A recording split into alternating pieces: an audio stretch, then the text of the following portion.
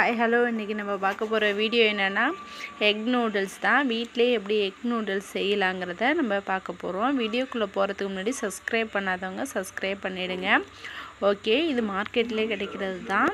நான் இந்த மாதிரி நூடுல்ஸ் கேட்டு நீங்கள் வாங்கிக்கோங்க. சைனா நூடுல்ஸ் ஓகே நான் இப்போ வந்து ஒரு குக்கரில் தண்ணி நல்லா கொதிக்க விட்டு வச்சுருக்கிறேன்.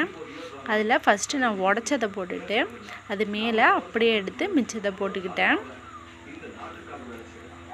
நம்ம வந்து கடையில் வாங்குறத விட நம்ம வீட்டில் செய்கிறது கொஞ்சம் பெட்டராகவே இருக்கும். ஓகே நான் விட்டுட்டேன். வேக வச்சுருக்கேன். தண்ணி கொதிக்க வச்ச தண்ணியில் தான் நான் வேக வச்சுருக்கிறேன். அப்புறம் இந்த பாக்கெட் வாங்கும்போதே இதில் வந்து அவங்களோட மசாலா கொடுத்துருப்பாங்க. இதை யூஸ் பண்ணுறது உங்களோட சாய்ஸ் தான்.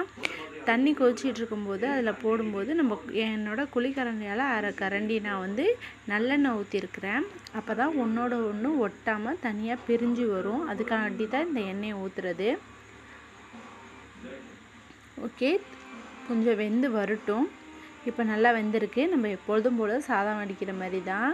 தண்ணியை வடிகட்டிட வேண்டியதான் இதில் என்னென்ன வெஜிடபிள்ஸ்லாம் நான் சேர்க்குறேன்னா வெங்கா பெரிய வெங்காயம் எடுத்துக்கிறதும் எடுக்காததும் உங்களோட விருப்பம்தான் பச்சை மிளகா வெங்காயம் கேரட் பீன்ஸு இஞ்சி பூண்டு சேர்த்துருக்குறேன். ரெண்டு முட்டை எடுத்துருக்குறேன். ஓகே வெந்து வந்துருச்சு. வடிகட்டி எடுத்து வச்சுருக்கிறேன். இப்போ நான் ஒரு பாத்திரத்தில் எண்ணெய் ஊற்றிருக்கிறேன் இதை நான் வெ- எண்ணெயில் வெறும் எண்ணெயில் நான் வேறு எந்த ஒரு பொருளுமே சேர்க்காம வதக்குறேன். பெரிய வெங்காயம் சேர்த்துக்கிறது உங்களோட சாய்ஸ் தான். சின்ன வெங்காயம் வந்து கொஞ்சம் டேஸ்ட் கொடுக்குங்கிறனால நான் எடுத்துக்கிருக்கேன். நெக்ஸ்ட்டு வந்து இதை வேக வச்சிட்டு இருக்கும்போது வதக்கிட்டு இருக்கும்போதே நான் முட்டையை நல்லா நல்லா நான் பொறிச்சு எடுக்கிறேன். இது வந்து நீங்கள் இன்னொரு இதில் செஞ்சுட்டு அதுக்கப்புறம் நீங்கள் வந்து எக் நூடுல்ஸோட சேர்த்துக்க வேண்டியதான் எனக்கு வந்து இந்த நூடுல்ஸுக்கு இந்த ரெண்டு எக்கு போதும். நீங்கள் பெரிய குழந்தைக்கு செய்யும்போது கடையில் இருக்கிற மாதிரியே நல்லா எண்ணெய் நிறையா ஊற்றி செய்யுங்க. எனக்கு வந்து நான் சின்ன குழந்தைங்க கொடுக்குறனால அதிகம் எண்ணெய் சேர்க்குறதில்ல. வாமிட் எடுக்க அதிக வாய்ப்பு இருக்கிறனால ஸோ கொஞ்சம் கொஞ்சமாக வதக்கி விட்டு ஒன்றோட ஒன்று ஒட்டாமல் பொறிச்சு எடுக்கிறேன்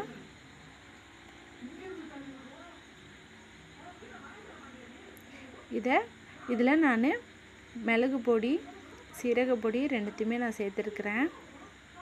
சேர்த்து வதக்கி விட்டுக்கிறேன்.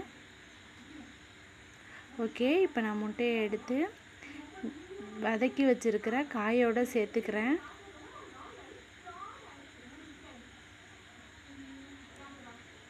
கடையில் இருக்கிற மாதிரி பல பலன்னு இருக்கிறதுக்கு அதிகமாக பொடி சேர்க்குறாங்க. ப்ளஸ் அதோட எண்ணெயும் அதிகமாக சேர்க்குறாங்க. சோயா சாஸ் இதெல்லாம் சேர்க்குவாங்க. நான் வந்து அந்த மாதிரி எந்த இதுவுமே செய்யாமல் நம்ம வீட்டில் செய்கிற மாதிரி செய்கிறோம்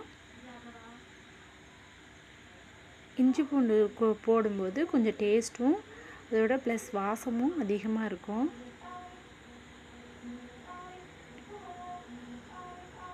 ஓகே நான் இப்போ நூடுல்ஸ் எடுத்து கொட்டிக்கிறேன். நான் பாதி நூடுல்ஸ் எடுத்துருவேன். ஏன்னா எனக்கு வந்து நான் கொஞ்சமாக தான் காய் சேர்த்துருக்குறேன்.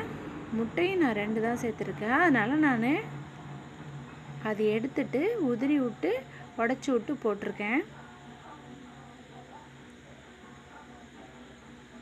ஓகே ரெடி ஆயிடுச்சு egg noodles thank you all